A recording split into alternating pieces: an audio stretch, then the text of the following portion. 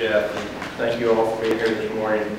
Um, I again want to thank the Progressive Sportsman Foundation for having us here today, the Archery Trade Association, Dan, uh, and the Association of Fish and Wildlife Agencies for sponsoring today's event. And uh, as you know, hunting and fishing are two things that I used to very dearly love and do a lot. I still love them, don't get to do them as much as I used to, but uh, certainly proud to be part of this group. And uh, be remiss if I didn't get to mention that I got to go red snapper fishing with my son this year for the first time in a long, long time. And wouldn't have happened without the Congressional Sportsman Foundation and Nick Wiley from Florida who helped uh, make that happen. We got other members here. Uh, I know Greg from Wyoming is here, Drew Ferguson from Georgia is here. Uh, Jeff Duncan obviously was here. Um, Gene Green, I think, will be here. Um, French Hill, I think, came in. Oh, sorry, I didn't see you there. Um, Looking like a preacher on the front row. Gary Palmer, um, Jim Walsh, former member, and John Shimkus, I know was here, and I think I saw Bruce Westerman, as Shimkus was in the back. And I think I saw Westerman as well, in the list. But uh, as you, as you know, the Pittman Robertson is, it's a foundational act, in the United States with funding wildlife conservation. Um, was passed 80 years ago in 1937, and I think about what we do today that we did the same way 80 years ago. Um, Taxes paid by hunters and recreational shooters provide the funds to support the management of the wildlife population or habitats for game and non-game animals. Preserving and enhancing the voluntary revenue source enables states and agencies to provide outdoor recreational activities for all Americans who enjoy the outdoors. And I'll tell you, one of my primary concerns is the loss of access recreational property for American working people. Um, The User Pay Public Benefits Act not only uh, benefits the hunters and recreational shooters, but all of our citizens for the delivery of wildlife and habitat conservation by state fish and wildlife management areas. We face an increasing uh, urbanization and suburbanization of our population. and It's made it more difficult for the public to participate in hunting and recreational shooting it was when Pittman Robertson was enacted 80 years ago. Rumor is Senator McCain actually voted for this bill. So it's going forward. I thought that was funny too. It was his first year in Congress. Uh, That's why it's now more important than ever that we modernize this important piece of legislation. And if you think about it, what do we do today? I mean, you know, if you had a TV back then, it certainly wasn't a color TV. Um, we- We've got to find new ways to to attract uh, younger people into the sports. And given the state's flexibility to do that, i- is just what this bill does. So uh, it redefines hunter recruitment and recreational shooter recruitment as any activity or project to recruit or retain hunters and recreational shooters, including the use of social media, marketing, advertising, surveying, television spots, print and media, providing education, mentoring, or field demonstration, enhancing access for hunting and recreational shooting, including through range construction, providing education to the public about the role of hunting and recreational shooting in wildlife conservation, and using any other means to ensure the growth of hunting and recreational shooting. To ensure that traditional wildlife conservation remains the primary focus of these funds, the legislation puts a cap of 25% of the amount of Section 4B PR funds that can be spent on hunter and recreational shooter recruitment over a five-year period. The legislation would also clarify by removing an existing prohibition on public relations that the state spending for management of wildlife areas and resources may include spending promotion of hunting and recreational shooting.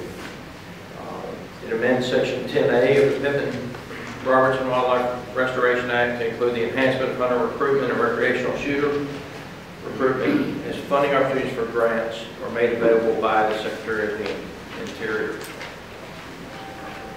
Finally, the legislation would expand the multi-state conservation grant program by providing an additional $5 million per year, which comes from the archery-related excise tax collections, which I've paid a fair amount of, I might add, to be used for making hunters and recreational shooters recruitment projects, grants that promote a national hunting and shooting sport recruitment program and related communications and outreach activities.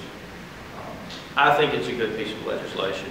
Uh, I see we've been joined by Gene Green in the back now. Um, I will tell you that I had hoped that we would put it as a, as an amendment on the sportsman's package. I don't know what will happen after, after what happened this past week.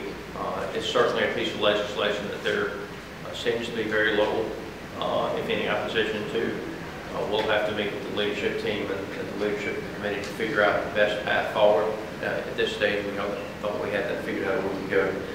Um, But the pastimes that we all love uh, have got to continue to live into the future. And uh, that means that we've got to bring more sportsmen into the mix and and attract that next generation uh, to the outdoors. And that means we're going to have to adapt um, some of the things that we're currently doing. So uh, with that said, I want to take it second to introduce Gene Green and allow Gene. I'll be real brief because you're not here to see us. Uh, I want to thank you for being here. The Sportsman's Caucus is one of our best caucuses in the Congress simply because we work across party lines. And any chance I can get to get outdoors, uh, whether it be fishing or hunting, uh, it's like, uh, even if it's only a day, it's a good vacation. And, uh, but thank you. What we're trying to do now with our SHARE Act is to come up with uh, an actually compromise on that makes sure we move forward with conservation programs that are important to fishermen and hunters and, and everyone else. So, uh, but thank you for being here, and we'll continue to, to try and make sure we can, we can get something done this Congress on the SHARE Act. So thank you, thank you. You know, the the caucus is one that, that really works, able to work together across, uh, part- not just party lines, but geographic lines. And so, uh, I'm proud with Gene and, uh, my friend Veasey, uh, from Texas as well. So Nick Wiley, from Florida Department of Natural Resources. My boat's faster than theirs, that's why I don't have any tickets. I'm kidding. Um, But uh, Nick's a good man. We've had a lot of talk about a lot of, a lot of things. His son's about the same age as mine. We Talk about duck hunting and, uh, and how you get an 18-year-old who thinks they're bulletproof to wear uh, some type of safety device when they're, when they're, when they're riding around with waders on. I don't care how strong you are, when your waders fill up with water, you're in trouble. That's right. Uh, So with that, Nick, Thanks, sir. thank you. Well, good morning. Uh, Thanks for the turnout, great turnout. Uh, Appreciate everyone being here. I'm speaking today uh, representing our Association of Fish and Wildlife Agencies, AFWA. Uh, We're one of the co-sponsors. And um, I just served the term as president. We've got two other past presidents here. I believe Dan Forster was a past president and John Frampton was a past president. And we've got some AFWA staff here as well. Uh, I see Carol and Jen and Gary. And uh, so we're, uh, we're here to, to really first reflect that all 50 states are supportive of this legislation and uh, really want to see this move forward. It means so much to us because we're on the front line of delivering on access and opportunity for hunting and also delivering on um, the, the, the recruitment of hunters. We're, we, it takes a lot of, a, a lot of uh, partnerships, a lot of work together, but we're out there every day uh, trying to, to recruit, retain, uh, and reactivate hunters. And uh, it, it just, it's something that would, with this, this bill would mean so much to helping us move that mission forward, move all the partnerships forward.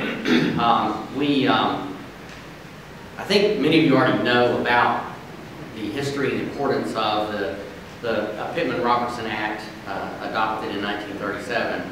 But it has been a foundational system for uh, wildlife conservation in our country, uh, providing permanent dedicated funds from a federal excise tax on sporting arm- arms and ammunition. Uh, And I want to pause a minute, I think it was noted earlier about um, that excise tax. We we all, uh, interesting thing about that excise tax is we all feel like it's our money. We all pay into that money. But one thing I don't want to lose sight of is the industry that manufactures the equipment that we love to take to the field. Those guys pay that, pay that fee directly.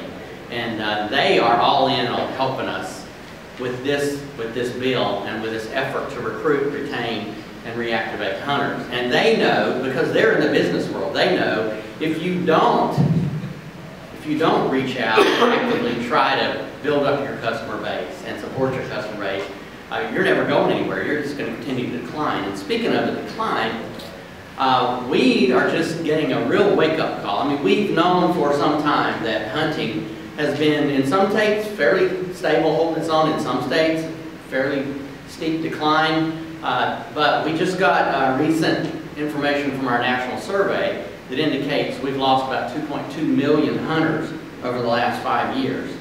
Uh, we're now talking about nationwide, uh, under this survey, we had about 13.7 million hunters in 2011. Now we're down to about 11.5 million. So if that's not a wake-up call, if that's not, say, it's time to do something about this, it's time to do something, as Congressman Scott said, it's time to do something different.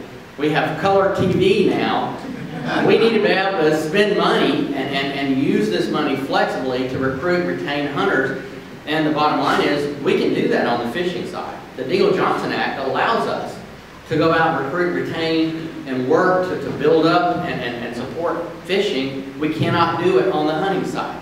The PR Act doesn't allow for that. Our hands are tied right now with regard to using those funds in that regard. Um, so we're, we're, I mean, we're at a crossroads now. If we don't decide now, uh, uh, the future of conservation in our, in our nation, the model for supporting conservation is in trouble. And I'm not, it's not a sky is falling thing, it's real. The future, we're in trouble. And uh, we, we want to we want to work with you. Uh, we want to support what you do up here on the Hill. Uh, that's so important to us. Uh, so anything we as the 50 state fish and wildlife can do to be there for you to help support moving this, this legislation forward, we're going to be there. We're going to we're going to do everything we can. And those of you that have signed on, and Congressman Scott, your leadership in, in, in, in dropping this bill and, and leading it forward, we just we want to help you move this forward and, and don't want to underplay the, the urgency of doing something as soon as possible to give us the tools.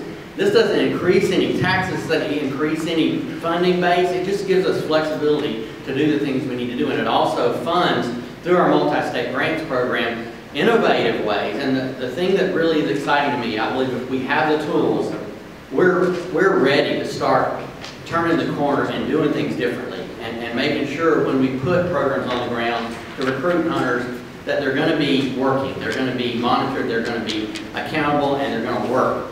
And that's what we're doing, a lot of groundwork today. And this bill would really set us free and on a road to really deliver on all that. So I appreciate what everybody's doing today, and thank you for coming, and uh, be happy to, to hang around and answer any questions you may have. Thank you. Our next speaker is uh, Dan Forrester, Director for Government Relations for the Archery Trade Association. Dan? Thank you, Nick. I'd to appreciate all of you uh, coming today and spending time with us this morning. Uh, It's kind of unique to hear from an industry representative that supports a tax. But I'm proud to be part of Archery Trade Association who recognizes the relative value and importance and history uh, regarding the Robertson tax.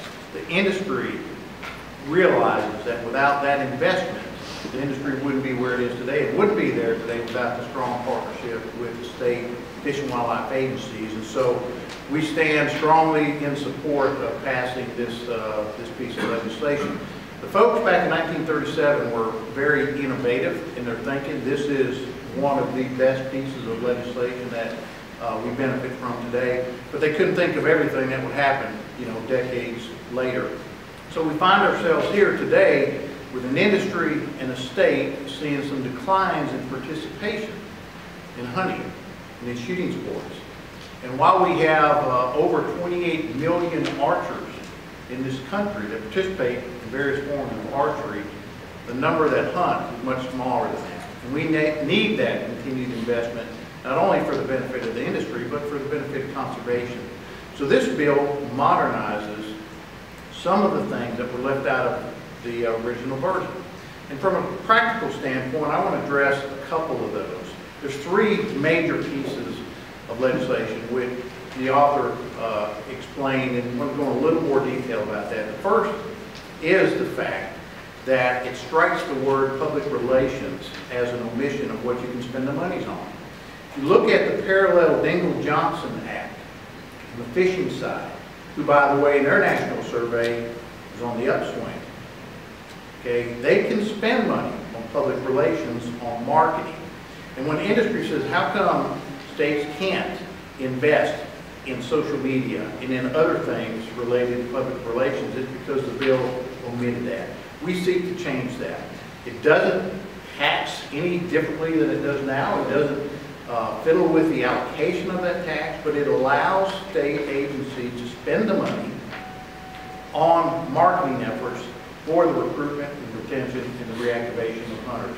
And that's why we support that piece. The other piece is with respect to ranges. Right now, states can use the PR dollars to build ranges and maintain ranges, but only that piece of money that is in the 4C pot, which is a smaller pot. It's not the larger 4B pot of money. And that, that pot of money is allocated for hunter education. So you could build a range if it is in association with hunter education. The problem is that pot is pretty small. If you have a major range project, an example is in the author's home state, uh, there was a $5.6 million total project uh, funded on a college campus to build an on-campus uh, archery and firearms range. You 300 Winchester Magnum on that campus if you want. Uh, They offer uh, academic courses regarding firearms and interviewables and the whole nine but that is obviously much broader than hunter education. And the pot of money that Georgia could use for that, it basically cleared that slate, all of the money in one year. And if they had a couple other projects come along, uh, they couldn't fund those, and it puts some of the other maintenance activities on the back burner. Again, state probably won't spend more than they do already, but it gives them flexibility. You can draw from the other pot.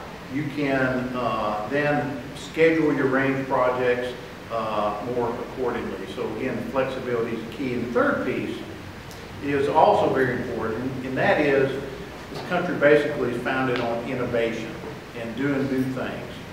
And the archery industry said, you know what? Let's take $5 million out of the PR fund off the top and put that into the multi-state grant program. This is money coming from the archery tax, not the firearm side of the equation, from the archery side. Put that into the multi-state grant program. The multi-state grant program is a program that's currently in effect that the state Fish and Wildlife agencies manage and they fund projects uh, based on a national priority and competitive basis. There's $3 million in the big pot that goes into that currently. And this bill seeks to put 5 million into that pot, which would be used for, again, competitive grants that would fund regional and national R3 projects that are important to the country. Uh, States like Florida, Missouri, Arkansas, Texas, wherever that wants to uh, partner and try new reactivation programs, new recruitment programs, now can compete for that money. And the best thing is, we've done a lot of things across the country, but we haven't always monitored those things. And this allows us to be more structured, more strategic, uh, and so we can hopefully fuel that innovation, learn from that, help to grow the sport. So those three things together, we think, uh, It's good- for sportsmen, it's good for the country, and it's great for conservation, and it's supported by a lot of folks. And and we certainly appreciate the support of you guys, and certainly thank the author for his time and effort. And and we stand uh, at every twist and turn to help, uh, help wherever we can to help get this legislation passed. So thank you for your time this morning.